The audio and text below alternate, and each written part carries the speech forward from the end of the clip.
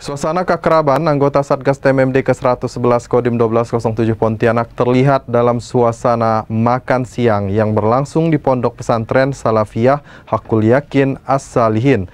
Kali ini, Satgas TMMD ke-111 mendapat undangan khusus makan siang dari pimpinan Pondok Pesantren. Berikut informasi selengkapnya. Momen makan siang Satgas TMMD ke-111 Kodim 1207 Pontianak kali ini berbeda dengan hari-hari sebelumnya. Secara khusus anggota Satgas TMMD mendapat undangan makan siang dari pimpinan Ponpes Salafiyah Hakul Yakin As-Solihin yang berada di Kuala Mandor B. Adalah Muhammad Kurdi, pimpinan Ponpes Salafiyah Hakul Yakin As-Solihin yang secara khusus mengundang langsung anggota Satgas TMMD ke-111 untuk makan siang di pondok yang diasuhnya.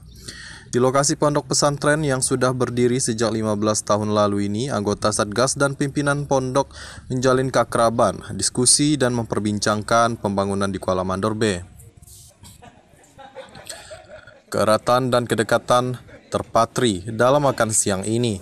Nilai yang terpancar menunjukkan bahwa TNI dapat diterima dengan baik oleh seluruh lapisan dan kelompok masyarakat mana pun.